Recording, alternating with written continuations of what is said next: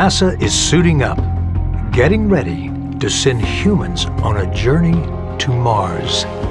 To do it right, the spacesuit must be tough, shielding the astronaut from dust, heat, cold, radiation.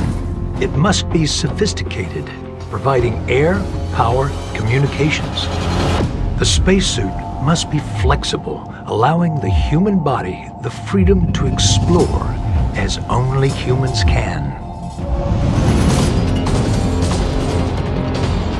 We have 50 years of experience suiting up, sending humans out of the spacecraft in what NASA calls extravehicular activity.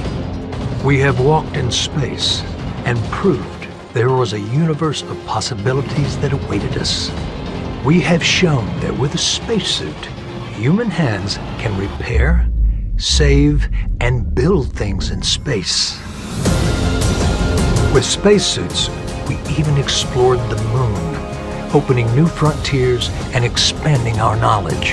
And as NASA prepares to travel further into the solar system, a new generation of spacesuits will help us make future discoveries.